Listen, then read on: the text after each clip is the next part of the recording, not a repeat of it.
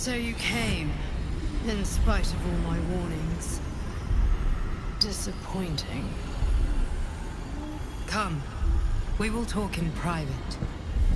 Just the two of us.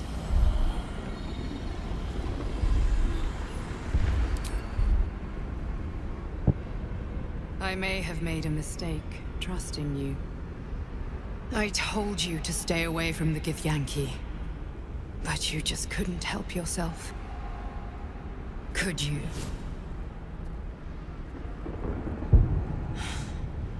And now... You've come here to murder me.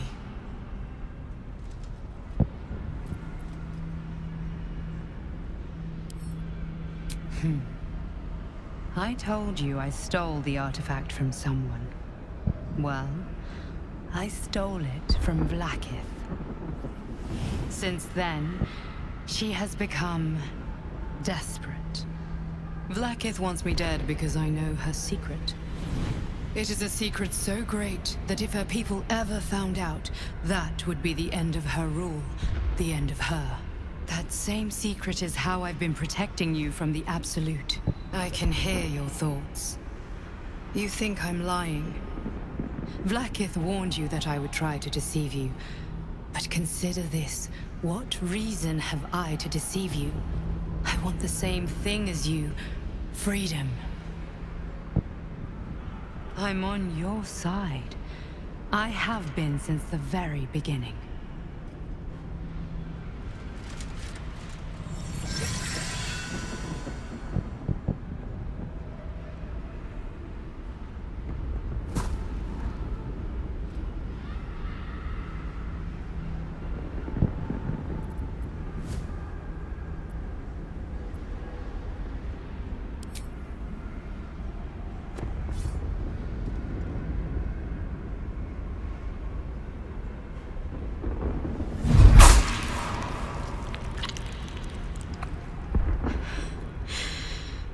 I really thought you wouldn't.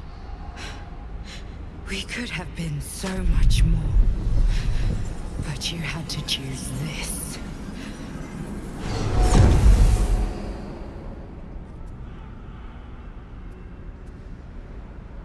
So, you are not to be trusted.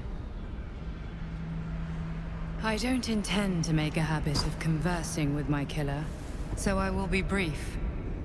Your survival depends on mine, and mine on yours. It's less than ideal, but it is where we stand. I know a secret that Vlaakith never wants to be revealed.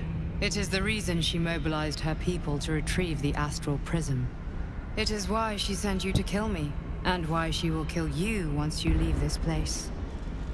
Since we are both dependent on your ability to survive that, you would do well to remember that without me, you would become a Mind Flayer. Now leave. I have a battle to return to. Did you kill it? And what was it, anyway? Speak. Have you killed my queen's enemy?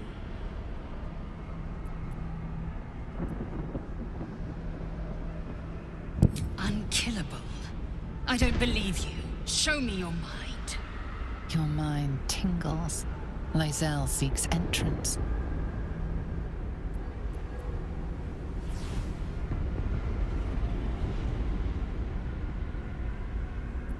Your thoughts become one. She sees the truth of your confrontation in an instant. Vlaakith Tafkinazin. I see only... only madness. My queen knows my faith. She would never condemn me. We must go to the Chirai. He will summon Vlaakith.